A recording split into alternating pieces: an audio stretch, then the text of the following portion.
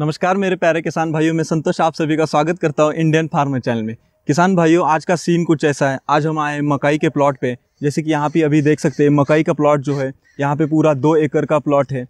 लेकिन एक इसके ऊपर जो है, बहुत ही बड़ी गंभीर समस्या आ गई है। तो दोस्तों, लोगों के अंदर भी मैंने देखा कि चर्चा हो रही इस बारे में। दोस्तों, एक, आज जो वीडियो होने वाला है, बहुत ही गंभीर समस्या पे ऐसा है कि दोस्तों, देखिए, एक अमेरिकन फॉल आर्मी वर्म जो है, उसको लश्करी आड़ी भी कहते हैं। तो दोस्तों, हमारा चैनल पहले सब्सक्राइब कीजिए, बेल आइकन जो है, ज़रूर दबाइए। तो दोस्तों, देखिए, ये जो है, ये सुंडी जो, ये लार्वा जो है, अमेरिकन फॉल और आर्मी वर्म इसको जो कहते हैं, ये स्टार्ट कहाँ से हुआ? दोस्तों, देखिए, ये दक्षिण अमेरिका, उत्तर अमेरिका, अर्जेंटीना से इसका स्टार्ट हुआ 2000 उसके, छः, सात, आठ से। उसके बाद जो है, ये लार्वा जो है दक्षिण अफ्रीका में पाया गया, नाइजीरिया जो एरिया है, वहाँ पर पाया। धीरे धीरे वो पूरे एरिया में सोलह सन 2016-17 में पूरा वो वहाँ पे फैल गया। दोस्तों, अपने इंडिया में जो है, अभी एक साल पहले मतलब जून के जो 2018 है, तब यहाँ पाया गया, जैसे कि कर्नाटक हुआ, महाराष्ट्र हुआ, उसके बाद श्रीलंका में, उसके बाद वेस्ट बंगाल में अलग अलग जगह पे ये एशिया में अपने पाया जा रहा है। और ये बहुत ही तेज़ी से फैल रहा है, और पूरे जो है, ये लार्वा जो है ये, पूरे फ़सल को ख़राब कर देता है, मकई की फ़सल ख़राब कर देता है, उसके साथ साथ तीस से चालीस फ़सलें ऐसी है, वो उसके ऊपर जाता है। लेकिन सबसे ज़्यादा जो है, मकई फ़सल को जो है पूरा तहस नहस कर देता है, बर्बाद कर देता है। तो दोस्तों, देखिए, सबसे पहले तो ज़रूरी चीज़ है ये फ़सल में करता क्या है। तो देखिए, अभी यहाँ पे पूरे फ़सल को जो है इफ़ेक्ट हुआ है, यहाँ पे जो है वार्म आर्मी से। यहाँ पे देखिए, मैं बताना चाहूँगा कि फ़सल को क्या करता है। जब आपकी मकई की फ़सल छोटी रहती है इस स्टेज की, लगभग 20-25 दिन 30 दिन के ऐसे पाँच छः पत्तियाँ निकलती है तो जो मुलायम पत्तियाँ रहती है, ऐसे खा जाती हैं। खा खा के, खा खा के जो लार्वा जो है बड़ा हो जाता है इसके अंदर पूरा घुस जाता है। घुस जाने के बाद पूरा खा के यहाँ पे जैसे देख सकते हैं, मल पूरा गिरा दिया है। अभी हम देखेंगे इस पौधे के अंदर जो है, इस प्लांट में जो मकाई का प्लांट है, ये मेज़ का, इसके अंदर लार्वा है कि नहीं एक्चुअली उसके बाद हम बाकी की बात करेंगे। तो दोस्तों, यहाँ पे अभी हम लोग इस पत्ती को निकाल के देखते हैं। ज़्यादातर ये अंदर ही अंदर छिपा रहता है, ये देख सकते हैं, यहाँ पे अभी।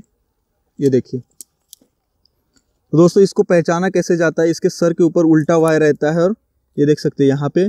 और पीछे जो है चार बिंदियाँ रहती है तो इसको कहते हैं लश्करी आड़ी कहते हैं। आपके यहाँ क्या कहते हैं, इसका भी आप बताइए।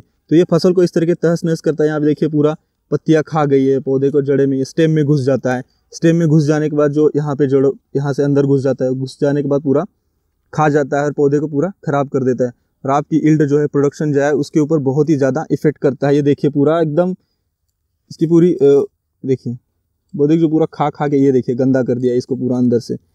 ये देखिए। अभी ये ज़िंदा भी है। हालाँकि ये जो किसान भाई का खेत है, इनसे मैंने बात की, इनका कहना है कि कंट्रोल नहीं हो रहा है, लेकिन उनके साथ मेरी काफ़ी सारे बातें हुई, उनको मैंने बताया भी इस तरीके से आप इसका कंट्रोल कर सकते हैं। काफ़ी सारे तरीके हैं। जैसे सालों से अमेरिका में भी यूज़ कर रहे हैं, अफ्रीका में भी यूज़ कर रहे हैं तो दोस्तों उसके बारे में बात करेंगे। तो दोस्तों ये जो लार्वा है, पहले तो हम बात करेंगे तैयार कैसे होता है। देखिए इसके चार स्टेप रहते हैं। पहली स्टेप को क्या है? ये पतंग रहते हैं। पतंग क्या करते हैं? अंडी डाल, अंडा जो है, अंडा, वो अंडा पौधे के ऊपर जाके डालते हैं। उसके बाद क्या होता है, वो अंडा में से लार्वा तैयार होता है मतलब सुंडी तैयार होती है, जैसे कि अभी मैंने आपको दिखाई वो वो पाँच छः स्टेप में बड़ा होता है। और उसके बाद जो इसकी कोश अवस्था एक रहती है, इस तरीके से चार अवस्था रहती है। अब दोस्तों, आपके अगर प्लॉट में इस तरीके से आपको समझ में आ रहा है, चाहे जवार का प्लॉट हो या मकाई का प्लॉट हो तो आपको करना क्या है कि आपको समझना है पहले कि है क्या? तो पतंग कैसे होता है, मैं आपको बताता हूँ। दोस्तों फीमेल जो पतंग होता है, वो जो है ऊपर से ग्रे कलर रहता है, ऊपर से जैसे गोल्डन कलर रहता है, उसके बाद जो है आधी हिस्सा जो है सफ़ेद कलर रहता है, एकदम प्योर सफ़ेद। जैसे कि हम लोग मूवीज़ वगैरह हम देखते हैं कि परिये के पीछे जो पंख लगा रहता है वाइट वाइट कलर का, उस तरीके से उसमें पंख लगा रहता है। उस तरीके से आप इसको पहचान सकते हो। पूरा ग्रे टाइप में भी आता है और आपको समझने, ध्यान से आपको पतंग जो है देखना पड़ेगा। और मेल भी इसी तरीके से रहता है। मेल और फीमेल दो तरीके के रहते हैं। मेल भी उसी तरीके से पतंग रहता है। तो दोस्तों, ये जो पतंग है, रात में बहुत तेज़ी से सक्रिय रहता है। ये एक घंटे में 100 से 120 किलोमीटर के रफ्तार से ये इधर से उधर करता है। मतलब बहुत तेज़ी से ये बढ़ता है। दोस्तों, ये पतंग जब जो जो फ़सल पे जब अंडा डालता है तो एक टाइम पे 100 से 200 एक गुच्छा में अंडा डालता है दोस्तों। और दो से तीन हफ़्ते में 1500 से 1800 अंडा ये पूरा वहाँ पे डालता है। और जब दोस्तों गुच्छा ये डालता है तो गुच्छों को पहचानना कैसे कि रुई तरह अंडे के ऊपर सफ़ेद सफ़ेद पन आपको दिखाई देगा। वो समझिए कि पूरा ये अमेरिकन फॉल वॉर आर्मी का ये मतलब आर्मी वॉर्म जो है, उसके अंडे है, समझ जाना है आपको। सौ, दो सौ एक एक गुच्छे में आपको उसमें से लार्वा निकलते हैं। तो दोस्तों, ये जो पतंग है, इसका जो है साइकिल जो होता है, पंद्रह से बीस दिन का इसका पतंग का साइकिल रहता है। उसके बाद ये अंडी डाल देने, अंडा जो है डाल देने के बाद अंडा तीन से चार दिन में उसमें से लार्वा बाहर निकलता है और लार्वा धीरे धीरे बड़ा होता है एक एक एक एक स्टेप में। तो लार्वा को कैसे पहचानना है? दोस्तों, उसके सर के ऊपर उल्टा वायर रहता है, काला कलर का। उसके पीछे बैक साइड में पूछ पे जो है चार बिंदी रहती है। तो लार्वा जब बड़ा हो जाने के बाद, जब उसके बाद क्या अवस्था आती है दोस्तों? उसके बाद कोश अवस्था आती है, चौथी स्टेप जो आखिरी आती है। पहले तो पतंग हो गई, उसके बाद अंडा हो गया। उसके बाद लार्वा हो गया, उसके बाद कोश अवस्था। में क्या होता है दोस्तों, ये जो लार्वा है, ये पौधे से नीचे गिर जाता है। गिर जाने के बाद ज़मीन के अंदर दो से आठ सेंटीमीटर अंदर चला जाता है। अंदर जाने के बाद ये कोशावस्था में होता है, उसके बाद फिर उसका पतंग बन जाता है और फिर उसकी साइकिल आती है। तो ये चारों स्टेप की जो साइकिल है दोस्तों, बयालीस से छियालीस दिन की इसकी साइकिल रहती है। तो ये साइकिल पे पूरा एकदम जांची परखी गई है दोस्तों, तभी मैं आपको बता रहा हूँ। तो ये पूरी साइकिल इसकी। तो इसके ऊपर, हर चीज़ के ऊपर अगर आप ध्यान देंगे तो आपको तुरंत समझ में आएगा कि ये वही चीज़ है। अब दोस्तों सबसे ज़रूरी चीज़ बात आती है नियंत्रण के ऊपर। नियंत्रण कैसे करना है?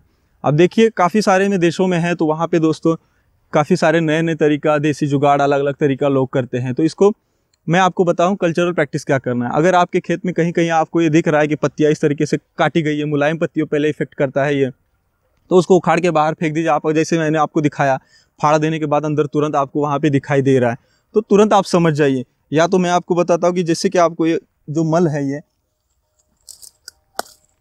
ये आपको मल इस तरीके से कहीं पे दिखाई दिया, सफ़ेद सफ़ेद भूसा की तरह, जैसे लकड़ी का भूसा होता है, जब लकड़ी कटिंग करते हैं तो इस तरीके का भूसा दिखा तो समझ जाइए कि ये उसी का भूसा है तो इसको बाहर फेंक दीजिए। या तो अफ्रीका में क्या यूज़ करते हैं, जैसे कि चूना यूज़ करते हैं, नमक का पानी यूज़ करते हैं, या तो जो राख रहती है, वो फेंकते हैं, या सबसे अच्छा तरीका जो होता है, इसको परबक्षी मतलब जैसे कि इसको खाने वाली चीज़ें, लार्वा को खाने वाली क्या चीटियाँ होती है तो चीटियों को जमा करना पड़ता है। चीटियों को जमा करने के लिए क्या गुड़ का पानी आप प्लॉट में डाल दीजिए तो चीटियाँ वहाँ पर जमा हो जाएँगी और चीटियाँ लार्वा को खा जाएगी। उसके बाद जो है क्या है कि आप खेत में थोड़ा सा जो आर्टिफिशियल पंछी रहते हैं, पंछी को भी रख सकते हैं। तो पंछी आएँगे तो वो पंछी खुद ही पतंग को खाएँगे, लार्वा को खाएँगे, कीटक को खाएँगे। तो खुद ही ऐसे कंट्रोल आपका हो जाएगा। तो ये तो हुआ दोस्तों कल्चरल प्रैक्टिस इस तरीके से आप कर सकते हैं। और ये प्रैक्टिस बहुत ही अच्छे से अगर सब लोग मिल के करें तो बहुत ही बेहतरीन रहता है। अब दोस्तों, इसके बाद क्या होता है कि हम लोग जब ये खेत की जुताई वगैरह होती है तो कोशावस्था में जो नीचे गया है, जो लार्वा, उसको ख़त्म करने के लिए हम लोग जब जुताई करते हैं तो एक से डेढ़ फीट के अंदर हम लोगों को पलटी पूरा खेत करना पड़ता है तो वो कीड़े जो है, ऊपर आ जाती है कीट, और उसको जो है पक्षी खा लेते हैं। जैसे हम लोग देखिए, कहीं पे जब हमारा रोटावेटर प्लाव हम लोग चलाते हैं तो पीछे कुछ पंछी आते हैं, बतख वगैरह या तो बड़े बड़े पंछी वहाँ पे वहाँ पे खाने लगते हैं तो वही इस तरीके से खाते हैं। तो ये सबसे ज़रूरी चीज़ है हम लोगों को, जब हम लोग जुताई करते हैं तो उसको दो से तीन महीना धूप में रखना है तो आसानी से उसमें जो भी वो कीड़े कोशावस्था में है, वो मर जाएँगे और ज़्यादा डेप्थ में करना है। तो इस तरीके से आप उसको कर सकते हैं। अब दोस्तों, मैं आपको बताता हूँ जैविक तरीका क्या करना है। दोस्तों, देखिए बैसिलस थुरेंजिनिस नाम की एक दवा आती है, उसको पाँच मिली से आप लेंगे और स्प्रे करेंगे दो से तीन बार तो आपको नब्बे से पंचानवे परसेंट का जो है, आपको रोकथाम हो जाएगा। उसके बाद जो है निमोनिया रिलाइट करके एक दवा आती है दोस्तों, उसको भी आप एक मिली से स्प्रे करेंगे। तो ये जैविक दवाइयाँ हैं, इसका आप स्प्रे करेंगे तो आपको कंट्रोल काफ़ी हद तक मिल जाएगा। इसके अलावा दोस्तों जो है मतलब अलग अलग जो छोटे छोटे कीट कीट आते हैं, वो आपको कीट मतलब जैसे कि ट्राइकोग्रामा नाम का एक कीट आता है, वो क्या करता है, सुंडी को खाता है। तो वो कीट क्या है कि, वो कीटों को हम लोगों को डेवलप करना है मतलब उनको नहीं मारना है, ऐसे दवा का स्प्रे नहीं करना है कि वहाँ पे पूरा ख़त्म हो जाएगा। तो वो चीज़ पर हम लोगों को ध्यान देना है। तो ये तो हो गया जैविक तरीका। अब दोस्तों, कुछ जो है दवाइयाँ आती है मार्केट में, काफ़ी सारी दवाइयाँ हैं, उसको स्प्रे करके भी हम लोग इसका कंट्रोल बहुत ही अच्छे से कर सकते हैं। तो कैसे करना है? तो देखिए, एक इमेमेक्टिन बेंजोइट नाम की दवा आती है, उसको हम लोग अगर एक लीटर में आधा ग्राम के हिसाब से यूज़ करेंगे, सौ लीटर में पचास ग्राम के, और स्प्रे करेंगे तो काफ़ी हद तक जो है कंट्रोल हो जाता है। उसके साथ साथ जो है थाइमोजम और उसके बाद लैमडासाइलोथ्रिन इसका कॉम्बिनेशन मारेंगे, उससे भी कंट्रोल हो सकता है। हो जाता है थोड़ा बहुत, लेकिन सौ नहीं होता उससे। उसके बाद कोराजन नाम की दवा है उससे भी आप कंट्रोल कर सकते हैं। लेकिन आपको ये जो कॉम्बिनेशन है अलग अलग तरीके से देना पड़ेगा। उसके बाद नीम ऑयल आता है अजर एक्टिंग पाँच हज़ार पी से लेके पचास हज़ार पी तक आता है। तो वो भी तीन मिली, चार मिली से लेके स्प्रे कर सकते हैं। तो थोड़ा सा आपको क्या करना है कि सबसे ज़रूरी चीज़ क्या है, जब फ़सल छोटी रहती है, दस दिन, पंद्रह दिन, बीस दिन की तो प्रिवेंटिव आप अगर स्प्रेडर डाल के स्प्रेडर मतलब क्या होता है, चिपकने वाली दवा डाल के उसको अगर केमिकल्स आप स्प्रे करते हैं या नीम ऑयल स्प्रे करते हैं तो वहाँ पे जो है पतंग जब आएँगे तो पतंग मर जाएँगे खुद ही तो वहाँ पे आपका कंट्रोल हो जाएगा। तो दोस्तों, आज के वीडियो में मैंने बहुत ही ज़्यादा कोशिश की कि आपको बताने के तरीका ये क्या है, कैसे है। दोस्तों, ये वीडियो ज़्यादा से ज़्यादा फिर एक बार बताता हूँ, मैं शेयर कीजिए किसान भाइयों तक तो ताकि ये जो मैंने अभी नियंत्रण के उपाय बताए, ये किसान भाई हमारे यूज़ करें, या अन्य कोई उपाय हो तो आप मुझे कमेंट में ज़रूर बताइए। वीडियो लाइक कीजिए शेयर कीजिए कमेंट कीजिए, हमारे चैनल सब्सक्राइब कीजिए, और मिलते हैं एक और नई वीडियो के साथ नई फ़सल के साथ, नए टेक्नोलॉजी के साथ। तब तक करते रहिए मेहनत, क्योंकि वावर है तो पावर है। धन्यवाद।